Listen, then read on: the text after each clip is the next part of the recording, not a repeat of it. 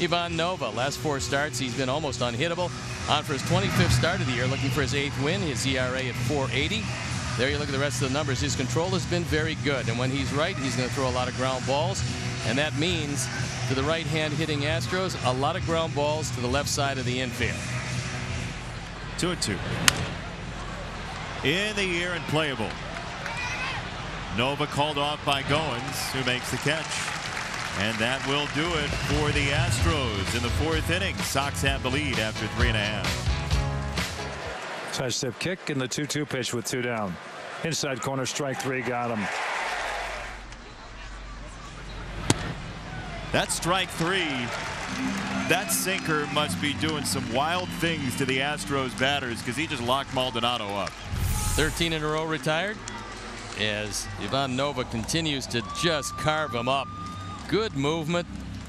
Started out outside.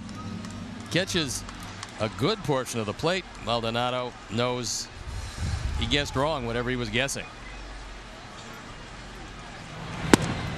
He locked another one up. Strike three. Straw and Maldonado couldn't pull the trigger, and we'll go bottom eight. How good's Nova been? Three and two. On the ground, up the middle. Sanchez.